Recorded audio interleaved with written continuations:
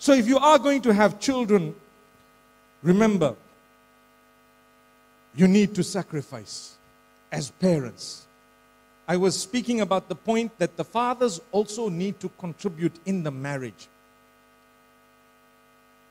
The last time I was in Nigeria, in fact, not just the last time, but some time back, I asked a few brothers, Have you ever changed the nappy of your kid?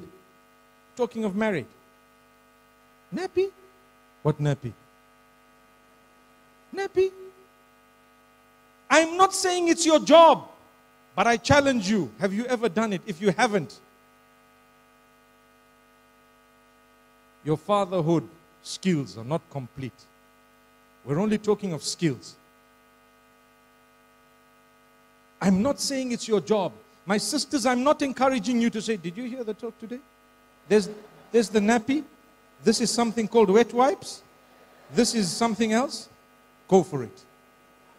And when he's done, you inspect it and say, Ah, four out of ten. Try again tomorrow morning. And then midnight, you get him up. Forget about tomorrow morning. It's happened. Do it again. I'm not encouraging you to do that. No.